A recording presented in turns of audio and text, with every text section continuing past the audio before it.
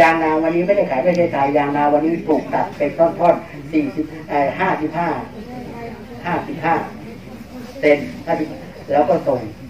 ไปต่างประเทศไปทำไม้ที่ส่วนกว่าเก้าปี โรงงานผลิตไม้ไทยยางนามีสามแห่งมีกรุงเทพมีมีที่ตากแล้วก็มีที่ยุทธยาวันนี้ไม้สามโรงงานไม่ต้องทำแล้วเพราะไม้ยางนาถูกส่งตู้คอนเทนเนอร์ไปหมด แล้วเอาละลืมเลยพยุงส่งยังไงพยุงมีกฎหมายสามตัวกฎหมายว่าโดยการส่งออกกับกฎหมายป่าไม้ แล้วก็เออแต่เของกรมส่งเสริมการส่งออกเมื่อมีพยุงแล้วให้ขึ้นทะเบียนที่ผมว่านี้ ให้ขึ้นทะเบียนไซเตสแล้วก็เตรียมไว้เวลาจะส่งออกก็ส่งออกได้เลยได้เลยเพราะมันถูกกฎหมายส่งออกก็ดูมูลค่าการส่งไม้ออกส่งไปสามอย่างสามอย่างหนึ่งไม้ท่อนสองไม้แปรรูปสามฐา หนึ่งไม้ท่อนสองแปรรูปสามฐานกฎหมายให้กันนั้นส่งไปประเทศที่สองที่สามก็แล้วแต่ใส่ตู้คนนี้ด้วยกันเมื่อขึ้นทะเบียนแล้วส่งไหนก็ได้ ตกวันนี้ใครมีพยุงรีบขึ้นทะเบียนใครไม่มีรีบปลูกแล้วก็ปลูกไว้ร้านพยุงในประเทศไทยไม่มีค่า ขอโทษใช้คำว่า ไม้เช็ดตูดเราไม่มีค่า ไม่มีค่าคนคนไม่กล้าใช้ ไม้ไม้ไม้ชั้นสูงหนึ่งต้องการตู้หนังสือสองนี่พระเท่านั้นทำอย่างอื่นไม่ได้เพราะเป็นไม้ชั้นสูง เขาเล่าว่ามีกษัตริย์ลาวซึ่งเป็นปราบพระร่วงสาบแช่งไว้ว่า มึงมันผู้ใจไม่ใช่กษัตริย์ขัตติยานำไม้พยุงมาทำต่ำกว่าดาก็คือโต๊ะเก้าอี้เตียง มึงมันผิดหาย เรื่องนี้ก็อยู่ในในระบบคนรู้ แต่ญี่ปุ่นจีนเขาไม่จีนเขาไม่ใช่เขาเขาไปดูถูกเขาไม่ได้ทำต่ำกว่าตูดตูดนะครับจีนจะไปทำอะไรรู้ป่ะเซียนฮ่องเต้อาม้าอากูบรรพชนใต้วิญญาณเจ้าแม่กุนอิมเซียนเขาไปกราบไปไหว้จีนเอาพยุงไปกราบไหว้เขาไม่ได้ไปทำอะไร แต่เมื่อปี 2559 ก่อนที่เศรษฐกิจจะล่ม คนจีนหนึ่งล้านคนเป็นสหาเศรษฐีขึ้นมาแล้วอีกอีกหนึ่งล้านคนเขาประเขารวมกันคุยในที่ประชุมว่า ก่อนเขาตายเขาจะต้องเตรียมโรงพยุงสำหรับเขาเองฉะนั้นพยุงที่ส่งของเราก็ประมาณเม็ดดินเขาก็เอาไปต่อต่อเพื่อทำโรงตอนเขาตาย แต่ถ้าเขาไม่ตายเขาไม่เคยดูถูกไม้พยุงเขาเรียกอะไรอะราชวังสินชีฮ่องเต้หรือขานไคฟงก็มีไม้พยุงจีนถามว่าไม้อะไรวะ มันทนเป็นทางปี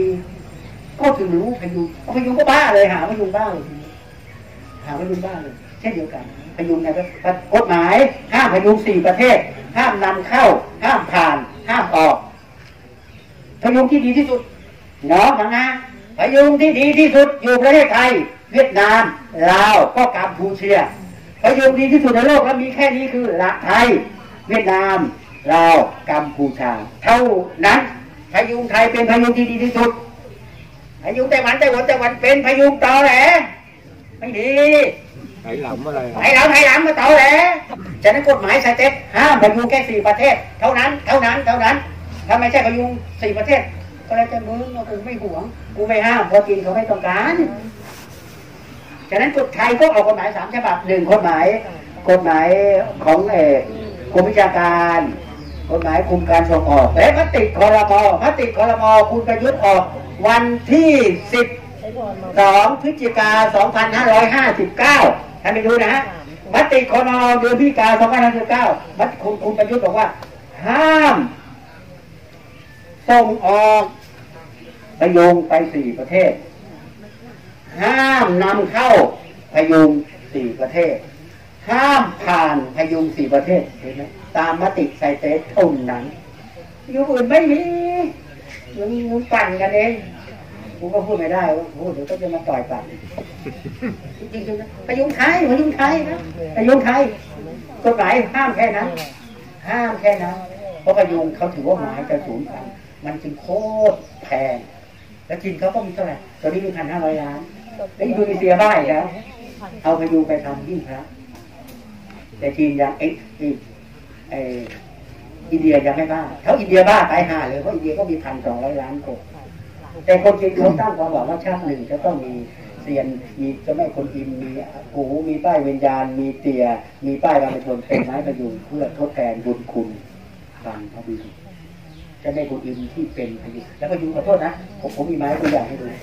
แค่นี้นะครับ อ้โหนี่นี่นี่นี่นี่นี่เขาทำเจ้าแม่คุณอิมขนาดนี้ ที่ญี่ปุ่นที่จีนเป็นแสนบ้านเรายี่สิบบาทมีใครซื้อไหมเนี่ยนี่เป็นเรื่องจริงเขาเอาแค่นี้เขาเอาแค่นี้ ผมบอกกันเถอะเดี๋ยวเถอะผมเกษียณแล้ว ผมจะปลูกพยุง ผมมีพยุงอยู่พอสมควร แล้วผมจะส่งออกผมจะทำเป็นท่อนๆๆๆผมจะใส่เป็นทูบเลยใส่เป็นกล่องทูบอะวินเขาใช้แค่นี้เขาไม่ได้ใช้มาก แต่คนเขามากเขาก็ไปขายต่อ